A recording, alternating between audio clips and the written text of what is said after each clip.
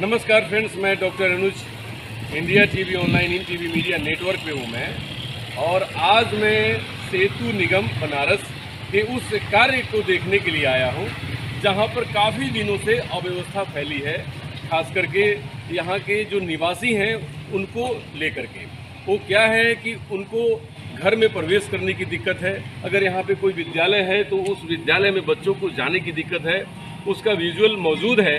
कि बच्चे अगर उस विद्यालय में प्रवेश कर रहे हैं तो ऐसा लगता है कि वो पानी और गड्ढे में गिर जाएँगे और डेंगू का बहुत बड़ा प्रकोप का भी सामना उनको करना पड़ सकता है।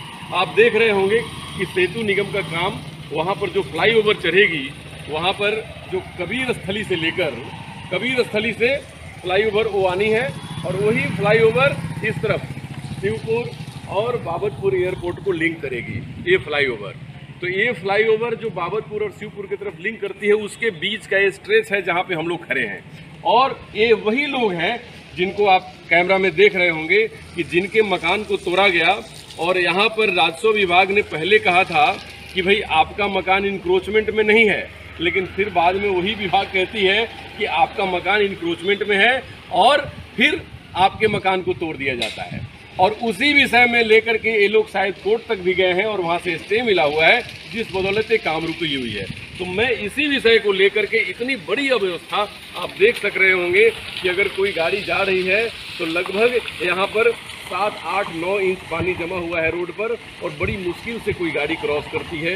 अब स्कूल के बच्चों को ले लीजिए, यहाँ के महिलाओं को ले लीजिए, कितनी तकलीफों का सामना करना पड़ रहा होगा, ये आपको पता चल रहा है। तो सबसे पहले मैं बात करना चाहूँगा जिनके मकान को इंक्रोचमेंट के नाम पर तोड़ा गया था और बाद में शायद मरम्मती हुई है, लेकिन उनको इससे बड़ी परेशानी हुई और इनका नाम और बाकी इनके किए हुए काम के ऊपर भी बट्टा लगा, क्योंकि लोगों का ये कहना था कि भाई आपने कैसे इंक्रोच कर लिया। तो मैं राकेश जी से बात करना चाहूँगा कि क्या मामला था और कैसे ये हुआ आपके साथ?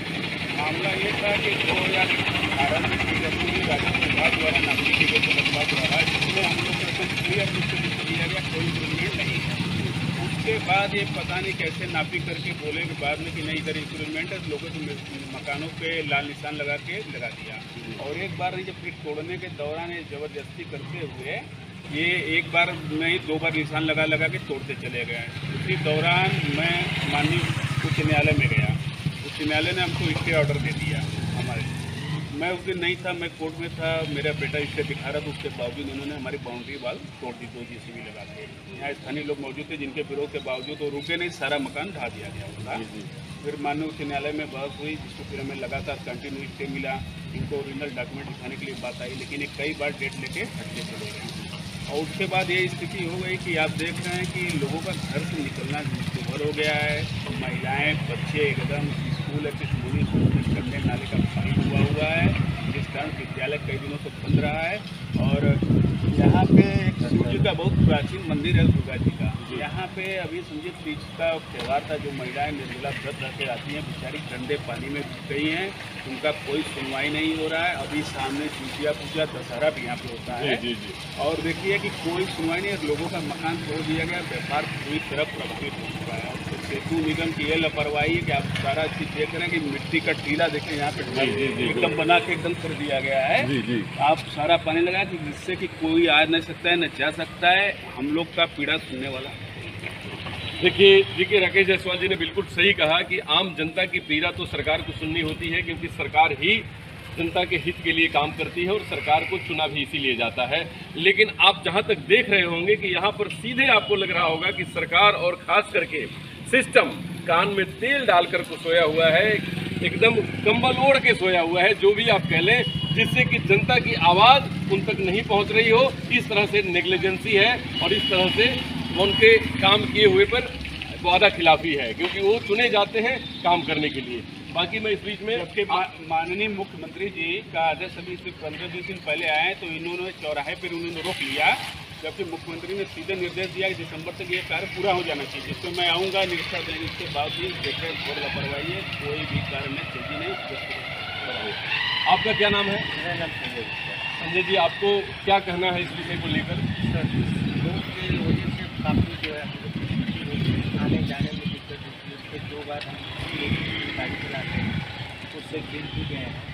और क्या करें किससे कहने जाए अपनी मजबूरी अपना यथा बैठा बैठा आपसे नहीं रह जाते जी ये करना है ये रोड कम से कम आने जाने के लिए रास्ता नाला बिल्कुल क्षतिग्रस्त हो गया है। मकान भवन तोड़ने की वजह से नाला पूरा क्षतिग्रस्त हो गया है। बारिश होता है पूरा नाला का पानी सड़क बहने है। दो तीन फीट पानी इकट्ठे हो जाते बिल्कुल काफ़ी ऊपर आ जाता है और बड़ी परेशानी के सम- सामना करना पड़ता है। आप क्या कहना चाहिए? आपका पूरा नाम क्या है? मेरा नाम हरिशंकर प्रसाद जायसवाल है। मैं ये कहना चाहता हूँ कि अभी राकेश जी ने और संजय जो बातें कही बिल्कुल सत्य है और हम लोगों की आवाज़ मुख्यमंत्री तक ज़रूर पहुँचे आपके माध्यम से मैं आपसे ये निवेदन करूँगा इंडिया टीवी से और सबसे बड़ा दुख ये बात का है कि अभी हाल ही में अ, यहाँ के एक व्यक्ति जो है सच्ची सदमे में जो है अपना शरीर छोड़ दिए और बड़ी विडम्बना है ये अधर्म अधर्म व्याख्या है और कोई सुनवाई नहीं है मुख्यमंत्री आते हैं लहर तारा चौराहे से वापस कर दिया जाता है उनको अंदर लाया ही नहीं जाता अंदर आएँगे उनको ये उनकी कुछ पोल नहीं लाया खुलेगी और इस मैटर पे हमारे माननीय मंत्री जी रविंद्र जायसवाल जी जो है कई बार बेचारे प्रयास किए। हम लोग उनके पास गए उन्होंने हमारी सुनी प्रशासन के सामने हमारी समस्याओं को रखा लेकिन उनको भी इन लोगों ने नेगलेक्ट कर दिया। अच्छा मतलब उनकी बातों को भी नहीं हाँ उनके बातों को भी नहीं सुना। बेचारे कई बार आए हैं यहाँ पर उनको गलत तरीके से समझा दिया कि वहाँ अतिक्रमण है। अच्छा। फ्रेंड्स जितने सभी लोग हैं सब लोगों की एक ही व्यथा है एक ही दर्द है। कि हमारे इस बन रहे फ्लाईओवर, जो कि शहर के लिए खूबसूरती और शहर को सुविधा देने का सबसे बड़ा कारण है। लेकिन वही फ्लाईओवर हमारे लिए कितनी असुविधा बन गई है, क्योंकि ये काम रुका हुआ है, काम जल्दी नहीं हो रहा, और इस काम को तेज़ी लाने के लिए हमारे सिस्टम को, हमारे यहाँ के चुने हुए नेता को, विधायक को बहुत पूरे ज़ोर से काम करना पड़ेगा और ईमानदारी से काम करना पड़ेगा और त्वरित कार्रवाई करके इस फ्लाईओवर को पूरा करना पड़ेगा। और जो भी छोटे मोटे डिस्प्यूट्स हैं, उन लोगों के बीच में बैठकर उसको निपटाना होगा। क्योंकि धर्म जायसवाल जैसे व्यक्ति कोई दूसरी घटना ना हो, क्योंकि धर्म जायसवाल की छोटी सी दुकान हुआ करती थी शायद यहाँ पर और वही दुकान आपको मैं दिखाना चाहूँगा कि ये जो नीले कलर का शटर दिख रहा है वही धर्म जायसवाल जी की दुकान थी और वही दुकान को तोड़ा गया और वो तोड़ने के पीछे कारण बताया गया था इंक्रोचमेंट और उस दुकान के टूटने के सदमे में वो अपने प्राण को गवा दिए क्योंकि उनका पूरा हाँ। कारोबार खत्म हो गया और ठप हो गया। तो पूरे परिवार एक दुकान और एक मकान हाँ, की बात नहीं होती।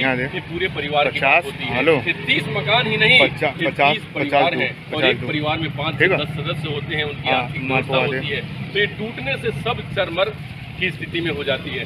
तो इन लोगों की व्यवस्था को सुदृढ़ करने के लिए मैं चाहता हूँ कि मुख्यमंत्री जी इसको संज्ञान में ले और त्वरित कार्रवाई करके इनकी असुविधा को दूर करें और आने वाले भविष्य के लिए हमारे बनारस को खूबसूरत करें। फ्रेंड्स नमस्कार। मैं डॉक्टर अनुज आप सेतु निगम के कार्य की लापरवाही को देख सकते हैं कि किस तरह से काम को अधूरा छोड़कर और एक यहाँ चलता हुआ कृष्ण मोहिनी विद्या मंदिर, जो ऐतिहासिक है, क्योंकि ये वो विद्यालय है कि जहाँ पर आप, खास करके इंदिरा गांधी जी जब प्रधानमंत्री थीं तो आकर के इसका उद्घाटन किया था।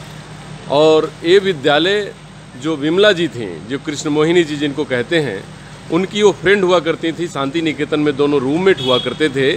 और उनकी ये विद्यालय है, उनके नाम पर बनाया हुआ विद्यालय है। तो इस विद्यालय के सामने गेट टूटा हुआ, लगा हुआ पानी, आपने देखा होगा, बच्चों की समस्याएँ सुनी होंगी। ये सब समस्याओं के जद में है सेतु निगम, जो कि एक ब्रिज निर्माण कर रहा है, कर रही है, और वो कबीर जन्मस्थली से लेकर और शिवपुर तक के जाने का ब्रिज है, और बाबतपुर एयरपोर्ट तक का लिंक रोड है। और इसमें एक और इतिहास जुड़ा हुआ है कि इसी मार्ग पर जिस मार्ग की आप अव्यवस्था देख रहे होंगे और इस अव्यवस्था में जो बच्चे और महिलाएँ, खास करके स्कूल जाने वाले बच्चे कितने परेशान हो रहे होंगे। ये इतिहास ये है कि अंतर्गृह मार्ग है, जो कभी सीता मैया जब भगवान श्री रामचंद्र जी के साथ काशी नगरी में प्रवेश किए थे तो इसी मार्ग से उन्होंने रसोई बनाने के दरमियान ही, रसोई कहा जाता है कि रसोई बनाते बनाते ही उनके मन में ख्याल आया कि काशी की परिक्रमा की जाए।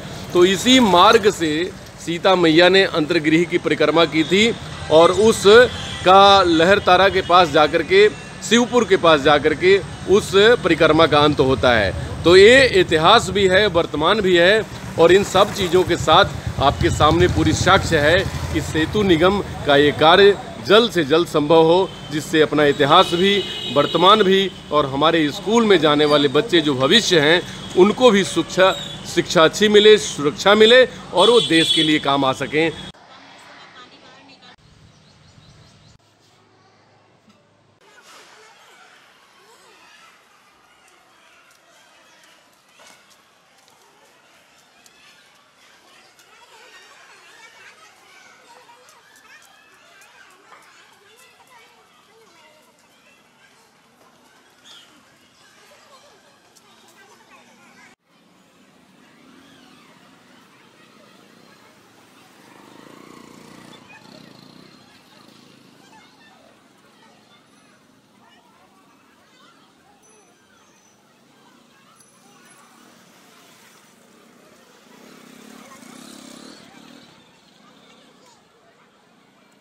एक पे पानी भरा हुआ है बहुत बदबू आ रहा है इसमें कोई गिर जाएगा तो कब तक ये सब ठीक होगा? पानी यहाँ भरा हुआ है सब सड़ उड़ गया है बदबू भी इतनी आ रही है फिर बीमारी भी इतनी होगी कब तक ये साफ़ हो जाएगा? यही वो विद्यालय है कृष्ण मोहिनी विद्यालय। और जिस विद्यालय के बच्चे अपने प्रार्थना में प्रार्थनारत हैं लेकिन आप ये देख सकते हैं ये समस्या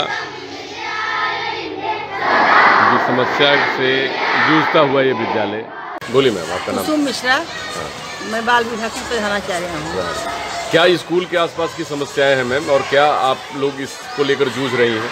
ये सबसे बड़ी समस्या है ये पानी भर जाना उधर कीचड़ रहना बच्चे गिर जाते हैं पड़ जाते हैं ज़्यादा हो जाता है तो हम लोग क्लास सस्पेंड कर देते हैं। ये बहुत बड़ी अच्छा किसी बच्चे को चोट वोट भी आई हाँ लगी है एक बच्चे का हाथ टूट गया और दो बच्चे गिर के बुरी तरह उनका कपड़ा खराब हो गया। गार्जियन को बुलाया गया बच्चे को भेजा गया बच्चे को भी चोट आई। अच्छा इसका वजह क्या था? इसका वजह बस मेन यही पानी है पानी अच्छा। का भरना है। हाँ, और ये सुधर भी नहीं रहा हम लोग बहुत परेशान है। अच्छा बरसात में भर जाती है तो ये फ्लाई ओवर के निर्माण फ्लाई ओवर के निर्माण के बाद ही ये समस्या शुरू हुई है। अच्छा तो आप क्या चाहती हैं कि अरे हम चाहते हैं कि सुधरे मेरे बच्चे अच्छे से आए स्वस्थ रहें गिरे ना। हम लोग भी कायदे से मानसिक रूप से अच्छे से पढ़ाएँ। एक टेंशन बराबर बच्चा गिर न जाए गिर न जाए। जी जी ये बना हुआ है। तो ये फ्लाईओवर का काम जल्दी से जल्दी पूरा हो अरे जल्दी और रोड की सफ़ाई हो और सब बिल्कुल अच्छे बिल्कुल ये चाह रहे हैं। कोई चमत्कार हो जाए कि रातों रात बन जाए। जी जी बहुत बहुत धन्यवाद। हाँ। धन्यवाद। मैं सुधा उपाध्याय प्रिंसिपल कृष्ण मोहिनी विद्या मंदिर उच्चतर माध्यमिक विद्यालय लहरतारा वाराणसी। सर स्कूल के बाहर जो पुल निर्माण का कार्य चल रहा है, इस कार्य को लगभग दो साल होने जा रहे हैं। परंतु अभी तक पुल का कंस्ट्रक्शन तो नहीं हुआ। उसके साथ साथ नाला भी ब्लॉक हो चुका है बाहर का, जिससे हमारे विद्यालय में पढ़ने वाले लगभग एक हज़ार विद्यार्थी हैं, जिनको असुविधा का सामना करना पड़ा। नाला ब्लॉक होने से पूरा पानी कैंपस में भर जाता है और गेट नहीं है बाउंड्री बनी हुई है, वहाँ पे अतिक्रमण में तोड़ दिया गया है इधर का। और बाउंड्री नहीं होने के वजह से कभी पागल, कभी कुत्ते, कभी गाय, इस तरह के जानवर यहाँ प्रवेश कर लेते हैं, जिससे कि हर समय यह डर बन, बना रहता है कि बच्चों के साथ कोई अप्रिय घटना ना घटे। इसकी सूचना हम लोगों ने शुरुआत में ही, जब हमारी बाउंड्री टूट गई, उसके बाद से हम लोगों ने बाउंड्री बनने के लिए इसकी सूचना जिलाधिकारी जिला विद्यालय निरीक्षक बेसिक शिक्षा अधिकारी एसडीएम थाने सब जगह हम लोगों ने सूचना दी थी। परंतु अ, कुछ हुआ नहीं और जब से ये बाहर का शीवर की पाइप डालने के लिए सेतु निगम ने बाहर नाला को ब्लॉक कर दिया एक गड्ढा खोद दिया जिससे कि जो नाला का पानी पहले जाता था वो ब्लॉक कर देने से समस्या और भी ज़्यादा बढ़ गई है। कैंपस में पानी बारिश होने से या नाले का पानी कैंपस में आ जाता है और उससे बच्चों को आने जाने में बहुत दिक्कत होती है।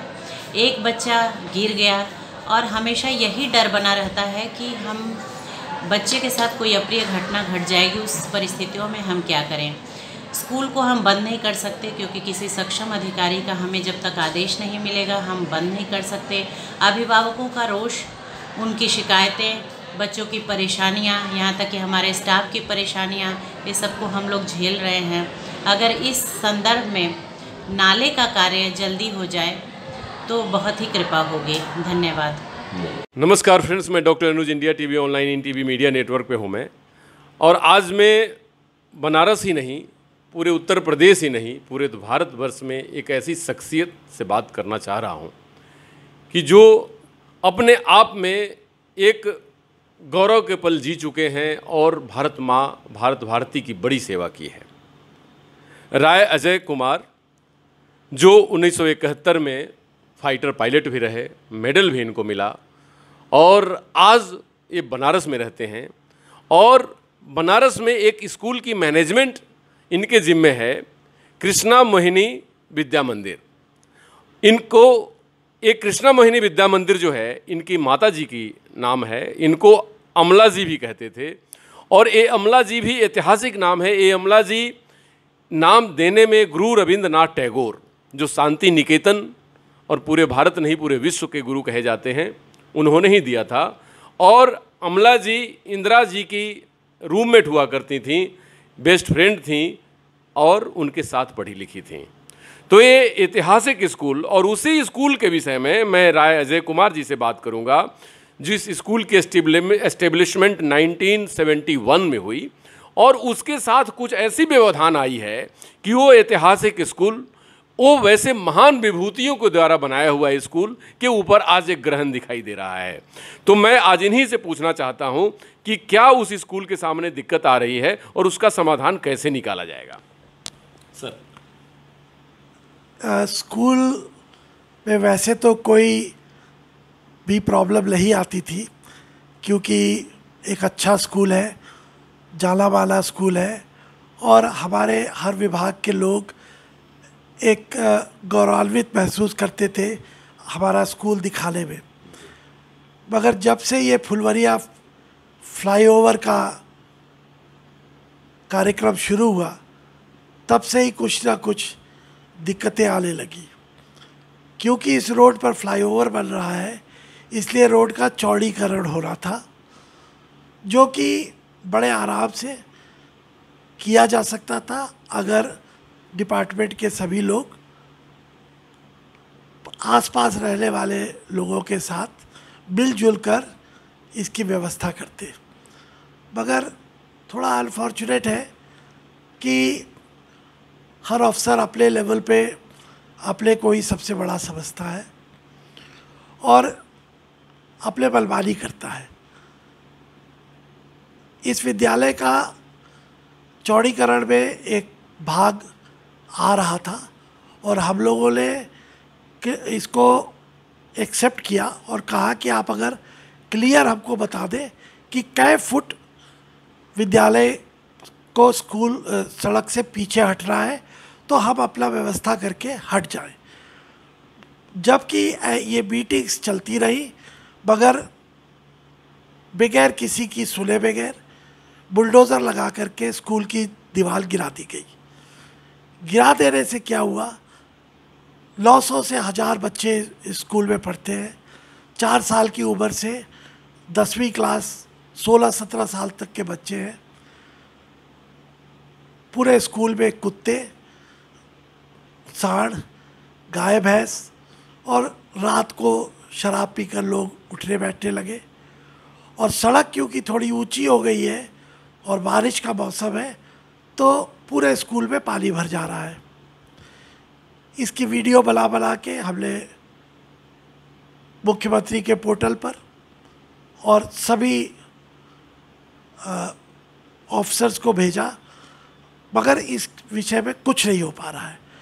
जबकि पहले सीवर डालना चाहिए था और आसपास में जो पानी जुटता, उसको निकालने की व्यवस्था करनी चाहिए थी, मगर ऐसा कुछ नहीं हुआ।